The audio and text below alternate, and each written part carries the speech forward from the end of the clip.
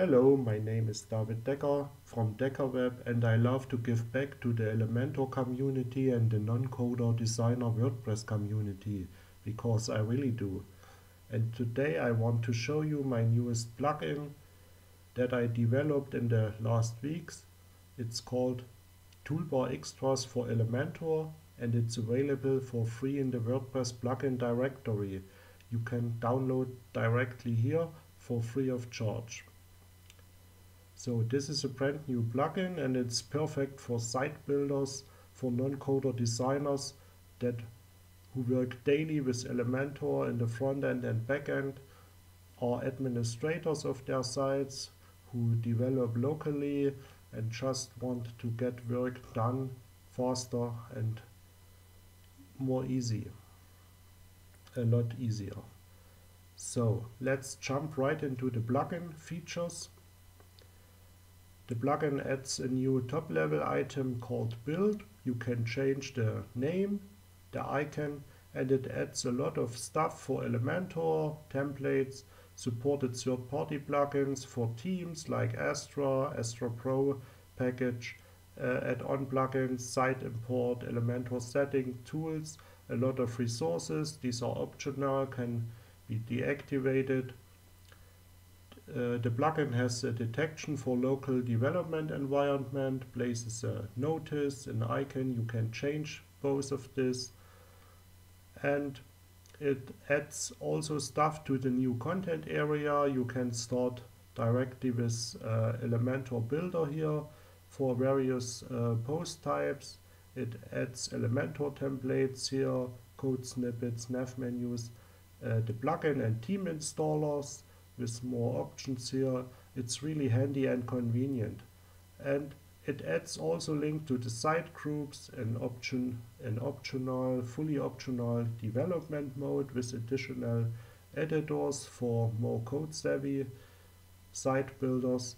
And then normally the manage content sections with a lot of post type, jump links, media library, even gravity forms as a smart tweak here. It's really convenient. And also again, third-party plugin support here for special plugins. And all the plugin support and theme support is fully optional. It's only active when those themes or plugins are active. Otherwise, it's not showing. And here it adds a web group instead of the WordPress logo.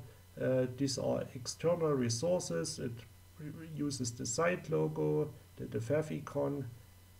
If it's there, if not, it uses a globe icon. Another feature is a special admin menu for administrators.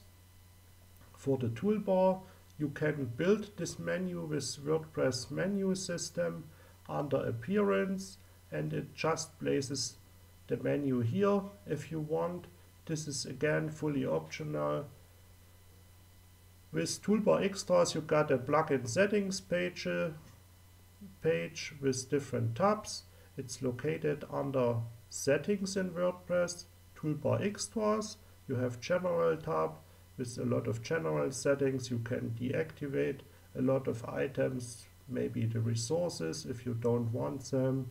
You can set icons, uh, have an icon chooser here, also search. These are Dashicons from WordPress, the official icon set of WordPress. And you have smart tweaks. You can here change behavior of WordPress items in the toolbar that come from WordPress core, also optional for plugins. These are also shown, uh, uh, only shown if the plugins are active and then you can place a setting. Then uh, you can enable or disable the um, local and development environment here or use the auto setting and the same for the development mode. So the plugin is really handy and as I said it has theme support built in. Uh, I've shown here Astra theme and Astra Pro. It's also for GeneratePress and GeneratePress Premium. uh, with deep links to the customizer for all of those themes. It's also for the Genesis framework with child themes uh, and supported Genesis specific plugins, also deep links to the customizer, and of course for Ocean WP, uh, even the, the premium packages from Ocean WP are also fully supported. And of course, uh, Elementor is supported with uh, Elementor Pro and Elementor Pro 2, the, the, the new upcoming version 2 that is currently in beta and with the new template type these uh, like header, footer, single or archive these are fully supported already. And I will adapt any new features that are coming.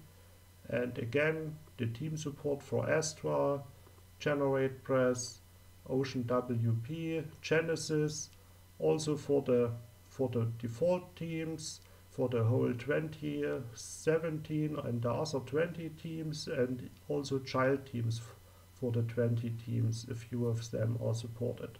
So you really get a, a full package here to make your work with the toolbar faster, more easy, and to get work done and the, the links in the on the front end are the same as in the back end. So they are on the same location in the same place have the same name.